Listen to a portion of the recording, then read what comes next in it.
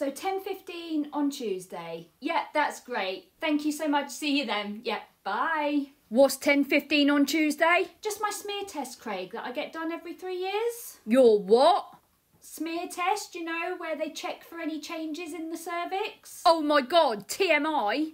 What? I don't need to be knowing about your cervix, do I?